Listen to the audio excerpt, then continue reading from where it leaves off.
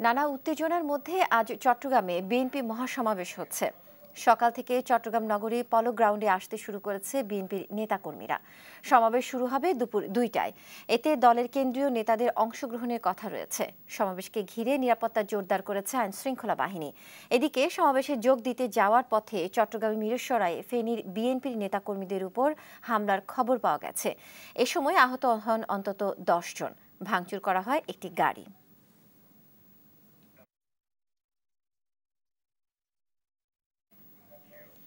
সমাবেশের খবর জানাতে চট্টগ্রাম থেকে যুক্ত হচ্ছেন সহকর্মী আলমগীর সবুজ। সবুজ সমাবেশ ও মিরসরাই হামলা নিয়ে সর্বশেষ কি তথ্য আছে? আপনার কাছে আমাদের জানান। শিমুল অনেক বছর পর চট্টগ্রামে আসলে বিএনপির যে আজকের মহাসমাবেশ যেটা অনুষ্ঠিত হবে চট্টগ্রামের পলো গ্রাউন্ড মাঠে, এটা নিয়ে আসলে উৎসব উৎসব যারা বিএনপির, যারা নেতা করেন তাদের ভিতরে উৎসবের শেষ নিয়ে আসলে তারা সকাল থেকে আমরা দেখেছি চট্টগ্রামে সকাল নয়টার পর থেকে এখানে তারা এসে জড়ো হয়েছেন। বিভিন্ন চট্টগ্রামের এই পলো গ্রাউন্ড আশেপাশে বিভিন্ন জায়গায় জড়ো হয়েছেন। আমরা এই মুহূর্তে আছি চট্টগ্রামের পলো গ্রাউন্ড মাঠে। আপনি নিশ্চয়ই দেখছেন এখানে হাজার হাজার নেতাকর্মী ইতিমধ্যে উপস্থিত হয়েছেন। যেহেতু সমাবেশটা হওয়ার কথা দুপুর দুইটা থেকে শুরু হওয়ার কথা। এখনই এই সময়ে আসলে নয়টা থেকে আমরা দেখেছি প্রোগ্রাউন্ডের আশেপাশে সিআরবি সহ বিভিন্ন এলাকায় বিএনপির নেতাকর্মীরা উপস্থিত হয়েছেন। তারা খালাদা জিয়া এবং তারেক রহমানের নামে স্লোগান দিচ্ছেন। তারা তারা এবং আমরা জেনেছি বিভিন্ন দেশের দেশের বিভিন্ন জায়গা থেকে এসেছেন এবং আসার আসার পথে আমরা আমরা আসার পথে শুনেছি মিরেশ্বরে সহ বিভিন্ন জায়গায় তাদের উপর তাদের বহরে হামলা চালানো হয়েছে বলে আমরা অভিযোগ পেয়েছি এবং পার্বত্য চট্টগ্রাম চক কয়েকটা জায়গায় আমরা গাড়ি বহর তারা আসতে বাধা দিয়েছে বলে শুনছি। আমি একটু কথা বলি কয়েকজন কর্মী আছে। আমরা নোয়াখালী থেকে এসেছি। নোয়াখালী থেকে আসছি নোয়াখালী থেকে আসছি আমরা। আমরা। নোয়াখালী কোম্পানির কবিরাট ইতিমধ্যে আমাদের কবিরাট থেকে এবং চৌমনি থেকে অনেক লোককে বাধা দেওয়া হয়েছে।